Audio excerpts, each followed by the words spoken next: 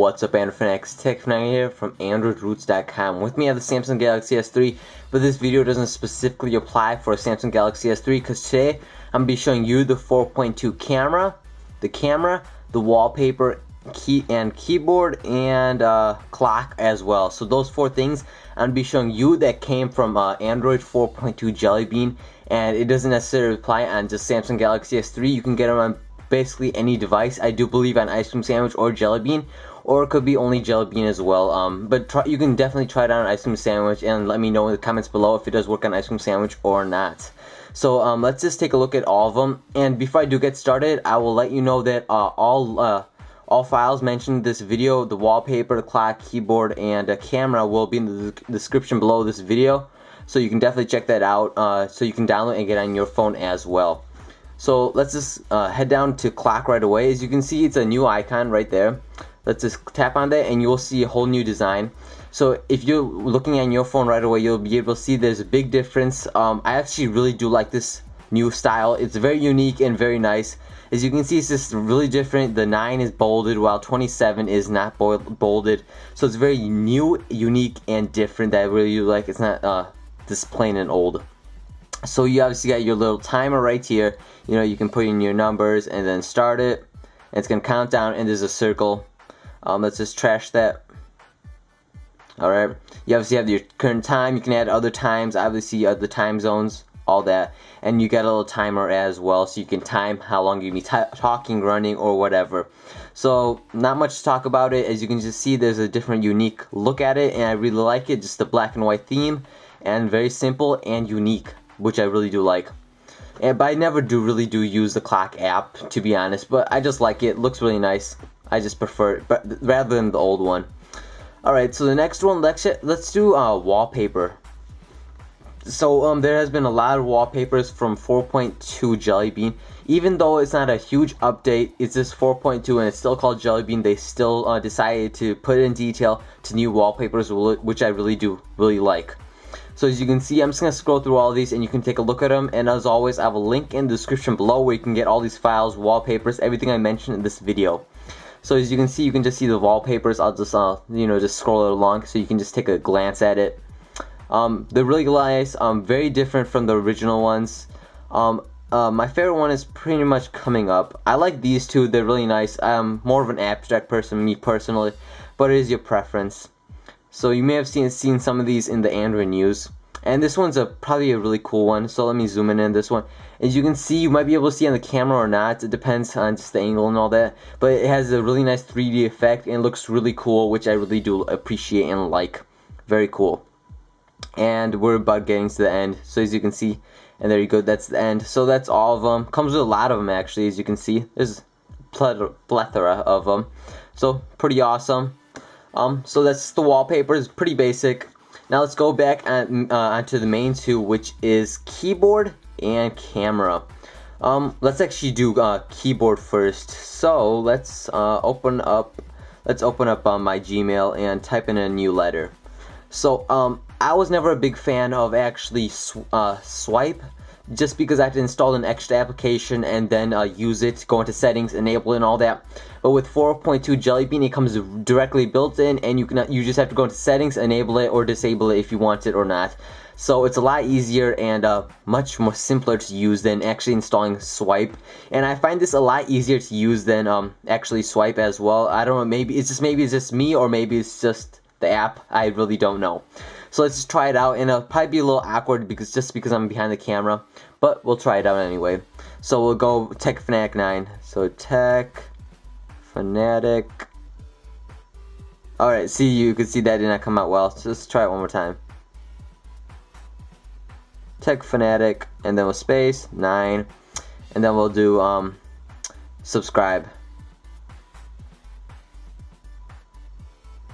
As you can see, you can see right there, I did subscribe and I'm on the E and it gives you a little um prediction of what you're gonna say and if you get if you let go of it, it will uh fill it in automatically for you, which I really like. Um, it fills it in automatically.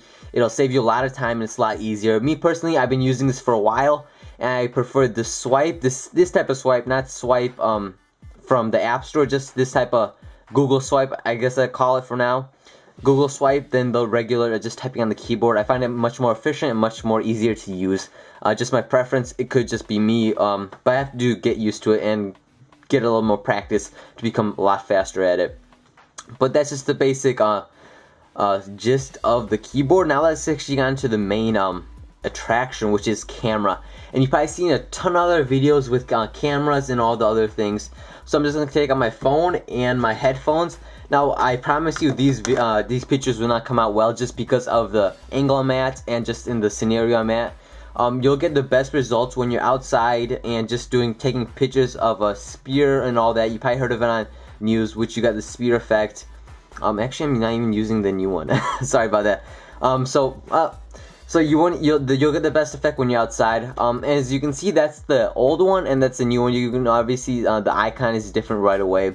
So we're gonna go to the new one, which is the more bluish purple, I guess you could say. No thanks. And now it says touch the focus. So it's hold it somewhere and tap and it'll focus right there. So you can see it's focusing down on my uh, Galaxy Nexus, uh, as you can see on my camera. And when you hold this down, you got the option for the camera. You got flash you know, so you can turn it on, auto, or off. So we'll just leave it on auto for now.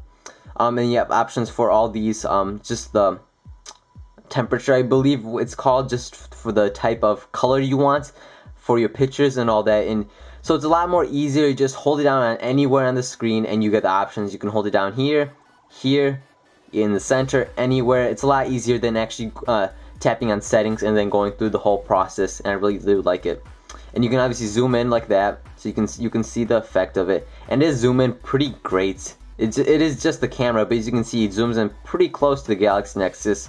You can see the edges. Um, so that's really nice. So now let's go into the main attraction which is Photosphere. So let's take a look at this and I promise you these uh, photos will not come out well just because I'm inside and I'm, I'm at a very close angle. Like I said earlier uh, outside is the best way to um, get a good effect on this. So let's just test it out so as you can see, the first one's done. We're going to the second one, and it does, as you can see, it goes very quickly on uh, actually uh, getting these photos. So as you can see, it's coming up now. So as you can see, um, the whole thing is coming up. Obviously, I'm not gonna render it. Um, it will take a few minutes to render. Not a few minutes, but it does. Um, it could take a few minutes depending on what device you're using, and if you're doing a full 360 or maybe just uh, 20 photos depending on how many photos you're using. But it's totally worth it. It comes out pretty much flawless. Um, not inside but outside when you have less corners and less lines um, throughout the whole um, outside than inside when you have walls and lines. You can uh, definitely uh, tell more when you're uh, inside because of the walls and lines. But that's basically it. Um, those are basically the four things. Um, that's been released by 4.2 Jelly Bean and please do aware this these are not official um, this not have, has been officially released by Google, but it is very stable. Haven't had any problems with any of them. Works very well, and you can uh, use this as daily driver as well. And um, like cameras, you have both apps. So even though if the new one fails, you can obviously just go back to the regular one and still use it just in case you do need it. Uh, if it's an emergency or anything like that. The clock is there as well, and you do have this new analog clock uh, widget as well. So that's about it guys. Thanks for watching. Um, very well. It works very well. I love the wallpapers. The clock is uh, nice, new, and unique. Keyboard works very well. I really like that. I'm probably gonna be using that every day. And the camera is just outstanding. Um, even though the iPhone 5, everyone's talking about the iPhone 5 and just came, came out with panorama and the Galaxy, uh, the uh, ice cream sandwich had it since the initial release of ice cream sandwich, and now we got a whole new thing which is Photosphere that has come from uh, Google Maps, so which is crazy. It's gonna it's came from Google Maps Live View, so that's crazy. That's coming on your phone. Um, very good for uh, Google. Very good idea that they put it on phones. So that's about it guys. Thanks for watching. Um, very good video. Hopefully you found this video helpful. Just uh, give you a nice preview of what's to come on uh, Android 4.2 Jelly Bean. Thanks for watching guys. As always, I have links in the description below on where you can download the wallpapers and everything else as well. So just click on the link. It'll bring you to the downloads and everything else that you need to know about um, 4.2 Jelly Bean about these features. Thanks for watching, guys. Don't forget to hit that subscribe button if you already haven't, and give me a big old thumbs up as well. Thanks for watching, guys. I'll see you next video. Don't forget to subscribe and give me a big old thumbs up. Yeah.